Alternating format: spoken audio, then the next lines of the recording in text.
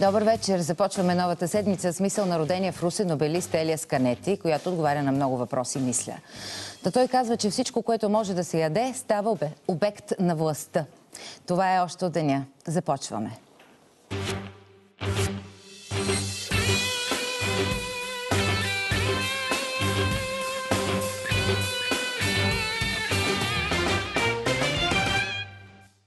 Социалистите след Конгреса и преди парламентарните избори. Гост в студиото председателят на БСП Корнелия Нинова. И още. Пандемията и здравната система. Интервю с доктор Николай Брънзалов, заместник председател на Българския лекарски съюз. Добър вечер на председателя на БСП Корнелия Нинова. Добър вечер. Добре дошли. Наричат ви два пъти победител тези дни. Веднъж заради вътрешните избори в БСП, втори път заради резултата от изборите за Национален съвет. Има и недоволни. Обаче за това след съвсем малко. А, взимам повод от едно интервю, което гледах буквално преди минути с, на Цветан Каризова по BTV, с бившия вече шеф на кабинета на президента Калуян Методиев, който, знаете, преди дни а, напусна президентството, след малко по-късно от президентството извадиха анонс за това, че е освободен. Той обясняваше мотивите си, обясни, че има разминаване, но че формалният повод за това да напусне е, че е приел личната ви покана а, да ви гостува в Боровец, където сте празнували победата ви при избирането ви за лидер на партията. Питам се, защо според вас президента може да се ядоса на такова нещо, да стане повод това за напускане и обижда ли ви въобще това нещо? Нямам представа защо е повод за напускане. Не ме обижда. Имам принципна позиция към президентската институция от 4 години и абсолютно последователна. Не се меся в решенията на президента. Там, където позициите ни съвпадат по политиките, сме били сме говорили еднакво. Ето, например, сега има вето на изборния кодекс. Ще ви питам. А, абсолютно с същите мотиви, с които ние развихме в залата. Така че тук ще имаме съвпадения. Тогава, когато сме имали различия, съм ги изразявала също публично и категорично. Такъв беше случая на излизането на парламентарната група от парламента. Тогава президента призова да върна групата в парламента и много ясно и категорично излязох и казах, господин президент, вашите правомощия са в рамките на президентската институция и нашите си партийни решения са наша работа. Така че ако може да не вземете отношение по тях. Давам тези примери, за да ви кажа, че винаги ми е било отношението принципно, още от първия ден и така ще бъде и до последния в мандата. Не съм се намесвала и партията не се е намесвала в служебния кабинет миналия път, в решението му в тези 4 години, така че и така ще остане. Сега не се обиждате, обаче изненадвате ли се? Така да го попитам тогава. А... Това, кое... Е, това, което се случи, това, което казва Калуян Методив. Отидох в Боровец и след което се наложи да напусна президентството. Това изненада ли е или е нещо, което сте си мислили, че може да стане? По-скоро и аз пътувайки насам чух господин Методиев какво говореше. Той каза, че това е само повод. Да, каза, че, че е имало, повод. Между тях е имало различия принципни, за които да, не, не съм ли това информирана, да е повод, не ги знам. Да. И не е моя работа да знам какво се случва в президентската институция. А, ако това е повода и въпроса ви изненадва ли ме, да, не би трябвало това да е повод за раздял. Още нещо каза Калуя Методиев, сигурно сте го чули и него. Между правец и боровец избирам боровец. А Радев беше, помня, на една маса с Георги Гергов в правец. И се питам, това за какво намеква? Че президента в момента е по-близък с Георги Гергов, който е ваш вътрешно партийен опонент, отколкото с вас ли? Или нещо друго идва да каже? Какво иска да каже Кален Методиев, е също той трябва да отговаря. Всеки е свободен да избира с кого и къде да се среща и да си носи отговорност питам. за това. Дали пък случайно няма някакво сближаване с така наречената вътрешна опозиция, повече отколкото с вас, която инициирахте предлагането му и издигането на кандидатурата му за президент? Нямам информация за това и никога не съм се интересувала от вътрешните въпроси в президентската институция. Сега... С кого общуват, как общуват, това е техен избор и отговорност. Относно разминаванията с президента, за които той говори, понеже казахте, че има неща, с които сте съгласна с президента и други, за които сте спорили или сте казвали, а, изразявали мнение противоположно.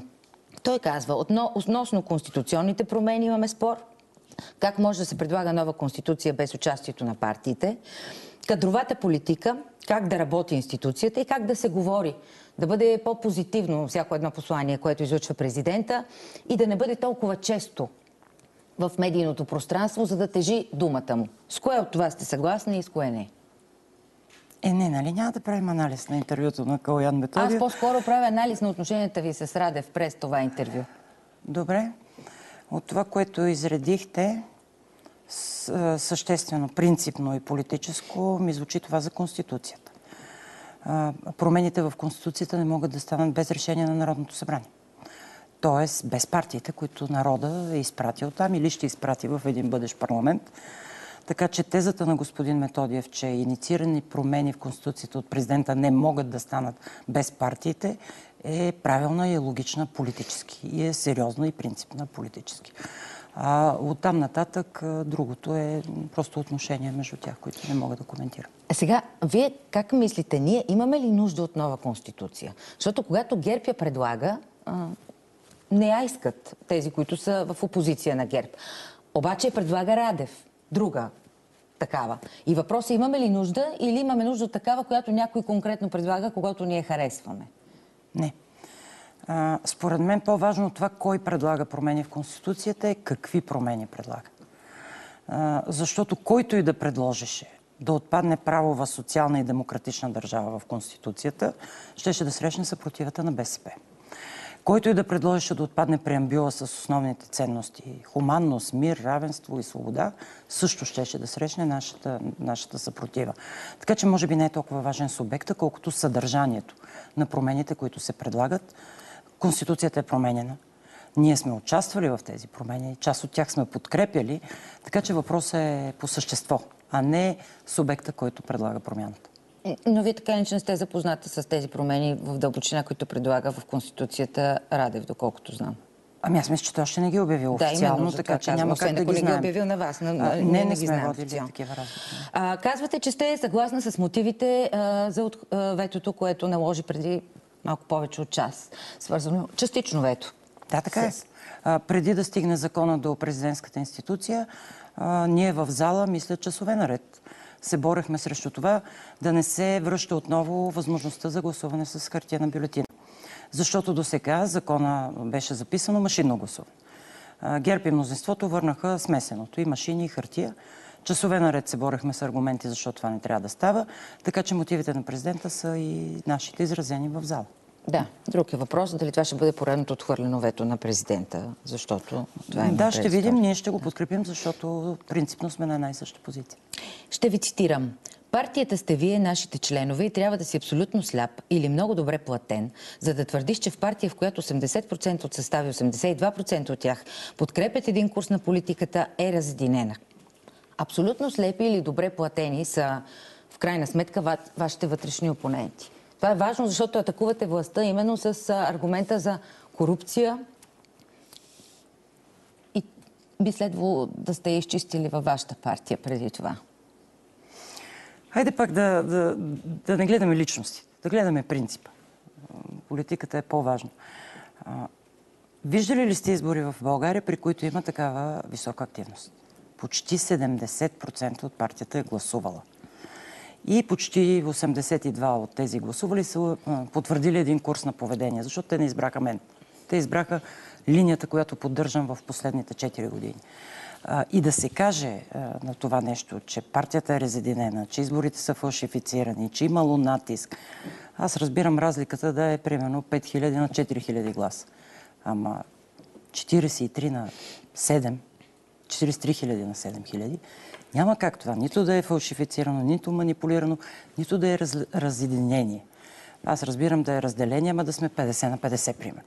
А тук имате 82 на 15-16. Е, те други. някаква такава грешка Това- ви открива. Това чета сега. А, не били 80, а гласували са 42 2 2000 от 80, 30 хиляди изобщо не са гласували, а 10 хиляди не са гласували за вас от тези, които са гласували. Така. И казват, ми не може да се каже 80% при това положение. Защото имаме негласувалите. Можеше да се излезе от това състезание с по-голямо достоинство. От а, колегите, които загубих. Аз, ако бях на тяхно място, по друг път и начин бих поступила. Защото, оставете ме мен, кампанията беше тежка, много упреци понесох.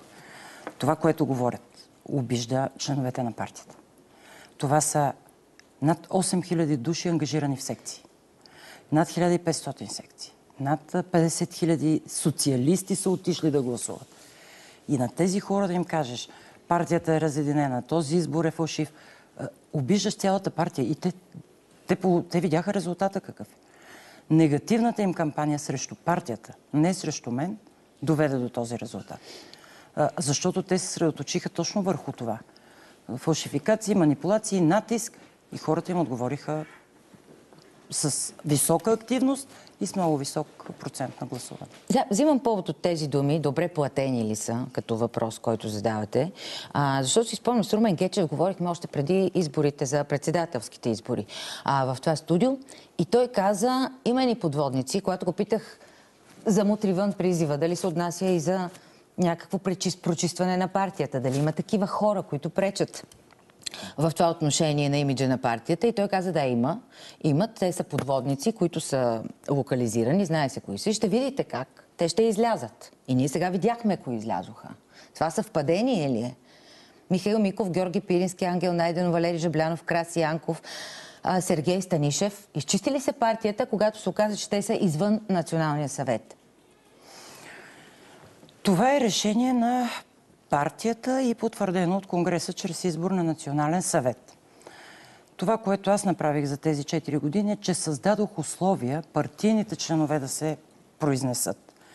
Защото в миналото в БСП председателя се избираше зад колисно на конгрес от 10-15 човека, които се събират, договарят кого да сложат и си мислят, че той ще ги слуша за личните им интереси, а не за партийните и на държавата. Още преди 4 години реших, че ще променя това. Затова предложих прекия избор. Слава Богу, проведохме го изключително успешно и това вече е необратим процес. И това, което изреждате имената на, на другарите ни, които си тръгват, е решение на партийните членове. Чрез промяната в устава просто създадахме условия техния глас да се чуе. А не само е, е, една малка част от елита да решава, а пък хората и членовете само да, да ги да ги търсим за избори, да работят за нас и ние винаги ние същи да стоим, да стоим отгоре. А, По-сериозен е, по-сериозен е въпроса, който поставяте. За платените, за задколисието и така нататък. Конгреса за мен поставя акцент върху няколко неща. Първо е, за, според моето мнение, разбира се, това е една мини промяна на промяната, която трябва да стане в държавата. Ние просто за 4 години показахме, променяйки се в партията, какво бихме направили, ако управляваме държавата. И ако позволите само в няколко акцента да го сложа. Първото е край на задколисието. Значи, когато даваш възможност на всички да решават, а не една групичка скрито някъде да решават, ти казваш, така трябва да стане и в държавата. Край на задколисието. Второ, хората да взимат участие в решенията, които касаят техния живот. Ние го направихме. Ето, вие гласувате. Прекия избор. Момента протестиращите какво искат? Техния глас да се чуе. Ние го направихме в партията. Третото е изключително важен въпрос. За морала в политиката. Да не лъжеш преди и след избори. Преди избори казахме, няма да влизаме в задколисни е, договорки с ГЕРБ, няма да участваме в ко- коалиция за постове и за пари. Издържахме го този тест. Отказахме и постове, и пари. Четири години бяхме опозиция. Тоест, пак го прехвърлям на, на модела на управление на държавата. Край на задколисието, последователност, никакви лъжи към хората, които сте подкрепили преди избори, след избори, да кажеш, абе заради себе си, заради няколко постове, аз ще, нали, няма да устоя на това, което сме ви обещали. И може би и, и най-важното, альтернативата. Ние сме единствените, които за тези 4 години изготвихме план за управление различен. Визия за България. Точно, Онзи за, документ. точно за, за, за, в тази посока искам... Тоест, това е достоинството на този конгрес. Тия 4 години усилия затвориха един цикъл на промяна в БСП, който може да бъде мини модел за промяна в, в политиката изобщо. Сега разбира се, мисля си какво си мислят вашите опоненти, ако гледат това интервю, ще кажат, а, този модел, който искаме да пренесем върху модела на държавата, ние го наричаме авторитарен, гумен печат и национален съвет, който няма да бламира лидера, ще бъде много така приятелски, а обаче няма да показва критичния глас в партията. Това са основните критики, понеже говорите за този модел, пренесен на национално ниво. А ви кажа какви са заплахите още от вътрешно партийно. Аз пък отново ще се върна на това, че всичките тези въпроси ги реши партията. И че тези другари, очевидно огорчени от резултата, в момента нападат партията. А по-конкретно на едно бих обърнала внимание, защото е изключително субективно и несправедливо твърдение, което се наслагва вече месеци за авторитарността и за лидерската партия, в която превръщаме БСП. Защото лидера се избира пряко от народа, следователно ставаме лидерска партия и Националният съвет няма да има никакво значение като колективен орган. Сега, аз избягвам с имена да, да говоря, говоря принципно в политиката, но в случая става въпрос за Сергей Станишев, който ми е най-странен от всички. Ще ви кажа защо. Другите ги разбирам до някъде, субективни и така нататък. Но прекият избор на лидер е утвърден като най-демократична, модерна европейска форма в социалистическите партии в ПЕС. Значи Сергей приема, че Педро Санчес в Испания може да бъде избран пряко от партията, в момента е и премиер, и че това е модерно и демократично. Че същото може да стане в Португалия, че същото може да стане при лейбаристите в Англия. Преки избор е в Германия при социалистите и във Франция. В цяла Европа отдавна това е модерно и демократично. Но когато става въпрос за Българската социалистическа партия, е авторитарно и лидерско. Еми, Сергей може да не приема, както да дадеш цитирам ви, волята на народа, той да гласува, че- това било авторитарно. че в партията си имате председател на партията на европейските социалисти, който не може да стигне до избор в националния съвет. Може това да не приема. Принципно казвам, може това, Това е да- оценка на българските социалисти, не е Вървим моя. към, към това, И още което... нещо за авторитарното, едноличното и националния съвет. Няма никаква логика в това твърдение. Авторитарен да наличаш лидер, който си слага ограничения на властта. Ние, това не се знае много, в тази реформа въведохме два мандата на председателя. За да нямаме вечни лидери, за да няма хора, които си мислят, че партията им е бащиния, за да не си мислят, че са авторитарни и доживотни диктатори. Два мандата, 8 години. Е, добре. Ако си авторитарен и искаш да си цял живот лидер, сам ще си наложиш ли ограниченията? Просто е клише, което се повтаря непрекъснато и трябва да се разбива с факти и с истината. Борисов беше днес в Лесидрен и коментира частичните местни избори, като каза ДПС и БСП навсякъде играеха заедно. Така да не се окаже, че има желание за нова целувка с ДПС сега, преди, в този дълъг, очертаващ се дълъг предизборен период. Не знам, за предсрочни избори спряхте да говорите, ми се струва или така ми се струва? О, не. Оставката и пресрочните избори са решението на политическата криза в България не само на политическата. По- По-бързо ще ни, ще ни освободят и от а, зулумите, които правят в економиката и в финансите и във всичко. Днес видях, че ще искат увеличаване на дефицита над 3%. Новия Видях. дълг, огромния, с който стават 30 милиарда. Всеки ден, в който стоят на власт, просто осигуряват се нови по-тежки проблеми Вие за бъдните поколения. ако се наложи, ще гласувате ли до края на годината на бюджета? Е, зависи какво се предлага. Тоест, склонни сте, понеже нали влизате Е, само добре, за ако а, внесат преизчисляване на всички пенсии с нов средноосигурителен доход, разбира се, че подкрепим, например. Но ако внесат още един заем над тези, които взеха, категорично не. Но за ДПС е важно това, което ме питате. Виждам, че господин Борисов се опитва предизборно да се освободи от а, коалицията, в която управлява в момента, а, защото може би още преди година заявих от трибуната на парламента. Официалното управление на ГЕРБ и на Обединени патриоти. Неофициално ни управлява нова тройна коалиция. ГЕРБ и Обединени патриоти явно, ДПС е скрито. И фактите говорят за това. Всички решения, ключови в парламента, които така поддържат правителството, се вземат с гласовете на ДПС. Така че опита му сега в последния момент да, да, така, да, да покаже дистанцираност от това няма, няма как да се случи. В тази връзка още един акцент да, да повторя, защото сме го казвали, предложението на ДПС за Експертен, експертен кабинет. Да. Няма Еми- ли сред вас хора, които биха... това, това също е опит да се спаси статуквото и това управление. Ако е без Борисов? Значи ГЕРБ, Обединени патриоти и ДПС вече са за експертен кабинет. Тоест неофициалната тройна коалиция в момента се официализира през експертен кабинет, за да изкара още 5 месеца. Добре, ама вие, Не, е- а- не е въпросът в Борисов. А, разбира се, то е олицетворение на модела. Но ние не искаме просто те да станат, ние да седнем на властта. А, ако Борисов се махне, но този модел на управление продължава, какъв е смисъл от това? Ако продължава да се погазва разделението на властите, парламента, ако продължава да се краде безогледно, да нямаш достъп до здравеопазване, образованието да е такова, че неграмотността да расте, Имаме доходите минута. да са най-низки, какъв е смисъл, че махнат Борисов, ще сложат Петков? Имаме минута. Про- На вас проблема е да се смени модела. Как предпочитате да мислите за изборите?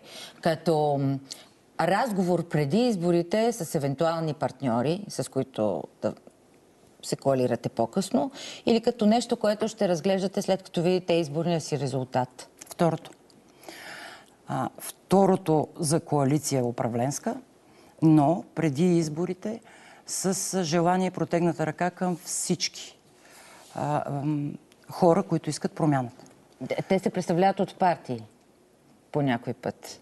За да се управлява, се е необходимо по някакъв начин. И не само. Една висока подкрепа от граждани, които искат, искат промяна.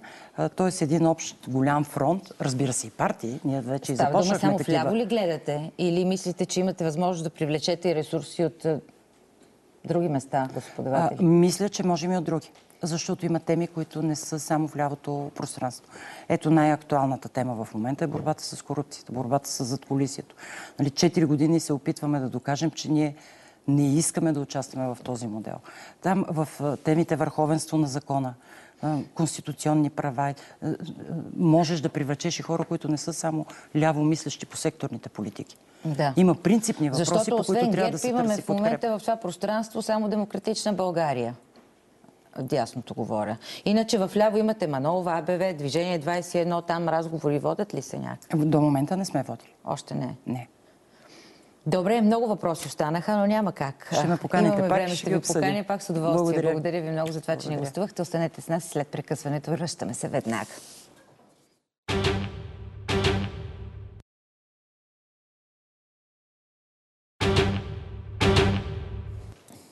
Доктор Николай Брънзал, заместник председател на Българския лекарски съюз. Добър вечер. Добре Добър дошли. вечер. Благодаря. Докторе, есента настъпва, очевидно с нея пристигат и вирусите. Няма как. Да попитам първо, кога е късно ние трябва да се вакцинираме? Има ли такъв срок? Защото знам, че има дефицит в момента на вакцини. Появяват се и изчезват моментално от а, мрежата. Да, за съжаление това е факт. Колкото по-рано, толкова по-добре. Септември месец е абсолютно о, добър за започване на такава кампания. А, надявам се, че най-скоро време имаме такива обещания в мрежата ще има сравнително достатъчен брой вакцини, както и тези, които ще бъдат поставени по национална програма от общо практикуващи лекари на нашите пациенти, които са рискови за зимния сезон да няма осложнения на основните им заболявания. Сега въпросът е, понеже паралелно се пазим от COVID, ние трябва ли да си направим първо тест, дали не сме безсимптомно, примерно, болни от COVID, преди да се вакцинираме за грип? А, не, бих казал. Такова безразборно тестване не е препоръчено никъде, нито в научната литература, нито някъде се прилага по света. А, много хора прекарват а, коронавирусната инфекция безсимптомно, но това не означава, че те трябва да бъдат тествани. Няма ли симптоматика, фибрилен ли е пациента, той на него може да му се постави противогрипна вакцина без проблеми. Няма ли опасност да се разболее, ако вече е болен от COVID, а, защото организма му е слаб или нещо друго става? Не, няма опасност да тези- се разболее, защото той не му е слаб по организма по простата причина, че той няма никакви симптоми. Дори и да носи коронавирусна инфекция си, като е напълно здрав, всички системи функционират добре, той си е здрав човек. Може ли всеки лекар да разпознае COVID от обикновен сезонен грип и да прецени какво е това? Или трябва задължително да се изяснява с тест? Да. Аз не вярвам, че въобще има лекар, който би отдиференцирал само с физикален преглед, а дори и с а, някои параклинични изследвания, а, грип на инфекция при даден индивид и коронавирусна инфекция. Симптомите напълно се препокриват. Даже, ако си спомняте, ние нямаме такова а, масово тестване за грип, въпреки тежката статистика, която световен мащаб е Точно така. показана, колко много хора е отнесъл грипа. Но в момента имаме сравнително добра диагностика чрез тестовете. Нали, доделен е въпроса колко те са достъпни. Надявам се нали, да бъдат още по-достъпни, защото ние имаме проблем с диагностицирането на коронавирусната особено в извънболничната помощ. Болниците там колегите се справят много по-добре, но те имат и съответния ресурс. Обаче, вижте, четох една статистика, от която става ясно, че от 25 юни до 21 септември са направени 370 573 ПСР теста. От тях едва 16 673 са платени от касата през болниците. Достатъчно ли е това според вас? И на практика излиза, че почти изцяло си остава личен проблем тестването за COVID. Не, абсолютно недостатъчно е. Просто много, много често по различен повод, говоря като общо практикуващ лекар, при нас се пращат пациенти с подобни симптоми. Аз едва ли не да ги убеда да дадат една трицифрена сума, за да могат да се тестват. Това е за мен една изключително порочна практика, защото а, пациенти с такива симптоми така или иначе идват при нас. Аз и днес съм прегледал пациенти с такива симптоми в моя кабинет. Със сигурност. Взел съм предпазни мерки, колкото ми позволява ситуацията, осигурени лично от мен, от моята заработка от Националната здравноосигурителна каса. Говоря като дезинфектанти, лични предпазни средства и така нататък. Но в момента, в който аз се усъмня, че този пациент може би е болен от коронавирус и аз трябва да го тествам, тук започва едно ходене по мъките. След като разбрах, че ще бъда поканен във вашето студио тая вечер, се обадих на няколко от моите колеги и казвам, бързо ми отговори три най-големи проблема, които срещаш в ежедневната си практика и всички до един първия и абсолютно основателен проблем, който искам да подчертая, липсата на алгоритъм за диагностициране. Ние тук все още имаме много какво да желаем. А както говорим, ние отдавна го говорим това нещо. Дали сме, имам предвид Национално сдружение на общо практикуващи лекари на, на нашия сайт, може да погледнете нашите предложения, как по-рационално да бъде а, това действие до диагностицирането и по-нататък съответния подход, който трябва да се избере за даден пациент, за съжаление, то алгоритъм все още не е ясен. И да попитам, понеже се твърди, че е ясен алгоритъма, свързан с училищата и децата, които се намират там и нещо им има. Първо сме предупредени всички като родители, че ако видим детето с каквито да било симптоми, по-добре да не го пращаме на училище. Това добре. Тогава, в момента в който аз установя това нещо у дома, какво правя? Обаждам се на личния лекар и той дава извинителната бележка Да, за училище. се на личния лекар. Или го ще- преглежда задължително. Когато, вижте сега, а, предполагам, че голяма процент от нашето население имат достатъчно Имаме висока минута, да, култура и може да прецени кога а, се касае за по-лека настинка и кога нещата се влушават. Задължително трябва да се информира личния лекар, той ще ви даде съответните на- напътствия, както и ще уреди по-нататък документално а, проблема. Вариант Ако с- 2. Детето се е влушил в училище, викат родителите му, те го взимат и пак ви се обаждат. Пак ми се обажда. Така е. По- Идват е ли? като Понеже си спомня в началото на пандемията, ни се обясняваше как само по телефона, за да не заразим останалите пациенти, които чакат пред кабинета, ако сме болни. След това се оказа, че ако не сме се обадили, вероятно фатално сме закъсняли и заради това имаме смъртни случаи от такива, които чакат до последно и се самолекуват вкъщи. Сега кое е вярното? Вика се обадите личния лекар, не е задължително си заведете фибрилното дете в неговата амбулатория. Нали, той бива посъветвал да си приберете вкъщи, да го наблюдавате. Съответно, на, вас като родител може да ви се издаде болничен лист. Ще поддържаме връзка и ако а, нещата се влушават, ще намерим начин да го прегледаме и да му предвижим случай. Да, въпросът беше в тайминга, нали, да се оцели в точния момент, в, а, да не се закъснява с а, Да, прегледите. да не се закъснява, но все, все пак вие, когато видите едно дете с 38,5 и нагоре, започва да, се, да, да има диспнея, да не може да диша нормално, в всички случаи ще потърсите лекарска помощ. Естествено, първият, на който се обадите, е личният ви И лекар. личния ми лекар. Десетки въпроси останаха. Тази тема продължава да ни вълнува, знаете много, и затова ще я продължим следващите ни предавания. Така се разделяме до утре, след новините в 18.